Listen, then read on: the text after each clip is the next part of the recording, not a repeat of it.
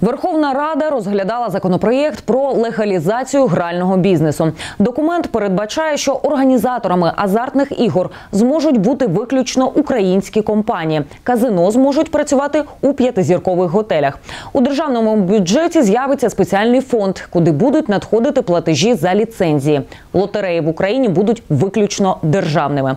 А ось ті, хто працюватиме без ліцензії, ризикують сісти за грати на термін від 3 до 5 років з конфіскацією грального обладнання.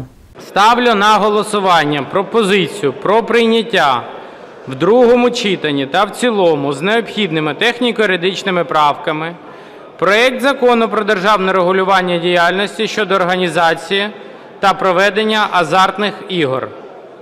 Реєстраційний номер 2285-д. Готові голосувати? Прошу підтримати та проголосувати.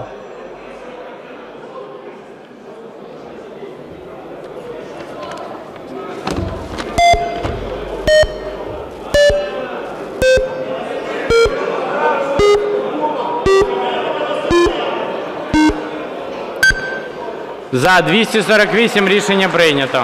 В результаті голосування законопроєкт підтримали 248 народних обранців. Від Сумщини за проголосували всі народні депутати від партії Слуга народу. Проти проголосував Ігор Молоток. Андрій Деркач не голосував.